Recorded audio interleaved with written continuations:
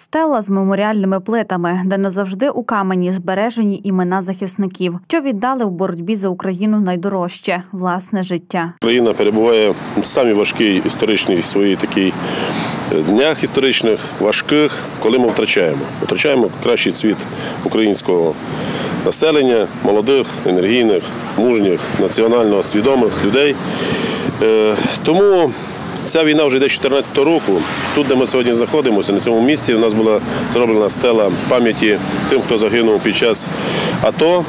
Це були троє уроженців е, тут нашої територіальної громади. 20 імен і 20 людських доль. Саме стільки захисників родом із Іршавщини загинули під час оборони України. Встановити меморіал запропонували волонтери. Це потрібно робити, тому що сьогодні ці хлопці віддали саме найдорожче, що в них є, це своє життя.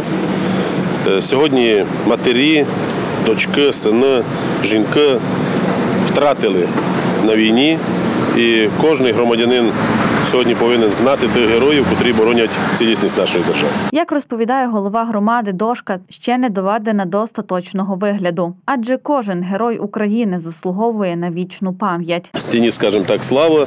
Ми маємо чотирьох хлопців, які загинули під час виконання своїх службових обов'язків під час АТО, і 17 чоловік, котрі загинули на території району, і вони всі тут, е, уже під час цієї кровопролитної війни із агресором з боку Росії. Жителі громади підтримали ініціативу та приносять до меморіалу квіти та лампадки.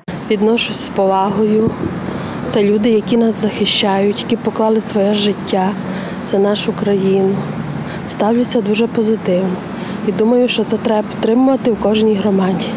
Потрібно, як не потрібно, тільки вони захищають е, Україну, бо була вільна Україна. Нам вільну Україну на- треба, а не треба нам во- воювали. Тому вшанувати пам'ять та запалити свічку у пам'ять про справжніх героїв України може кожен охочий. Знаходиться стела на головній площі міста Іршава.